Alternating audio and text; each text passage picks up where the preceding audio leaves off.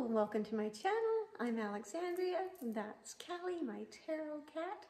And we're here back with you today to discuss uh, the, the next card in the major arcana that we've been studying. So if you've been watching the videos, it is deliberately not in order. I, I had the intention just to let them introduce themselves to me. And so I've just been picking them at random, and uh, but they all will be there by the time we're done. So, and the debate continues, is it Arcana or Arcana? And which do you prefer? So, we're working with this lovely deck, the, the Rider Waite Smith. And today I got one of those cards that everybody always wants to see in their deck.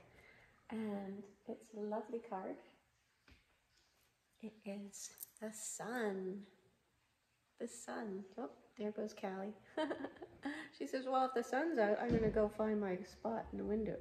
And there she goes. so, so the sun card, that's always, always, no matter what position it shows up in your spread, it is always a good card. And you can see by the beautiful bright sun, you know, it's, a, it's obviously a happy, happy card. You've got the, the white horse, which indicates purity and innocence, and you have the actual child there, the sunflowers, big beautiful sun. It's obviously a very, very happy, uh, good omen, certainly, to show up in your card spread. So, as, as has been my habit, I came up earlier and channeled that card. So it's just tapping into that energy. It's so full of energy. So I got um, the sun.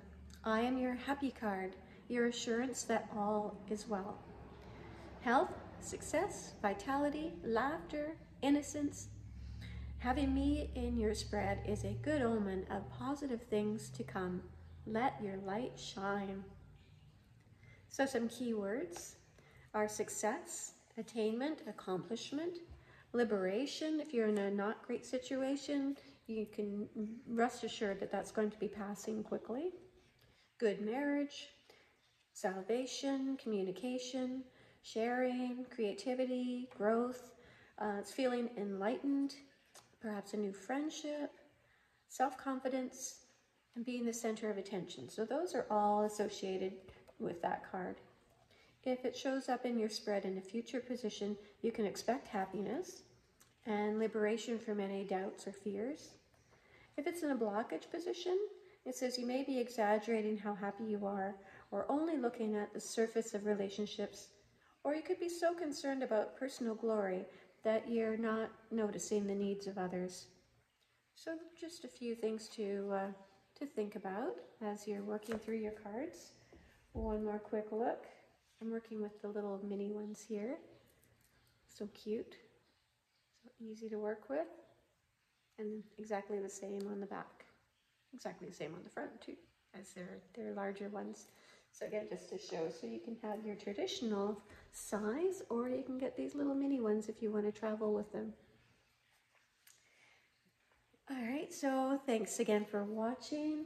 Um, that's all I have for you today. So I hope you have a beautiful day, and I hope the sun is shining wherever you are. Big love.